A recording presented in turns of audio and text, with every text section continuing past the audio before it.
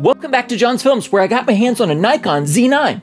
Absolutely fantastic camera, and we're going to take it for an 8K shootout today with Nikon N-RAW, in high profile, in normal profile against H.265 footage. Let's go check it out. As you can see, I've been busy, but we're going to focus on the 8K footage on the left in this one, and really it's a comparison between 8K in log N-RAW and H.265 because if we zoom in here, on the left, we have a high bit rate for NRAW, and on the right, the normal bit rate. We can see that there is some sort of aberration, chromatic aberration, or otherwise fringing that happens around pretty much every one of these squares.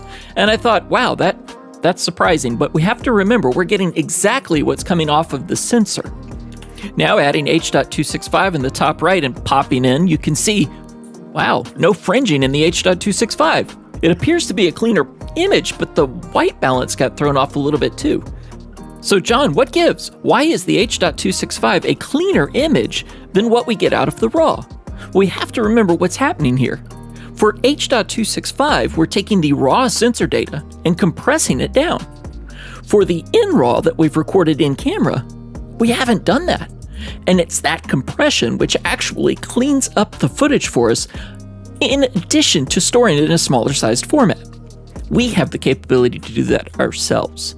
Let's now use DaVinci Resolve to render H.265 from the high quality N-RAW and see how it compares to the native in-camera H.265. Well, here it is, Resolve render on the left and camera render on the right. I really can't tell that much of a difference. And that begs the question, why would I bother with RAW in the first place? Well, RAW gives you a lot more flexibility in post. You do not tear up your image as quickly when you're trying to color grade some more extreme grade. Further, RAW is much easier for you to play back on your computer because all of the data is there. Meanwhile, with H.265, your computer needs to decompress it, decode it, and then display the data up to the screen. It's now that I tell you I do this type of analysis all the time. If you'd like to see this again, please click subscribe, click like. I'd love to have you around for the next one. Either way, thanks for watching and have a great day.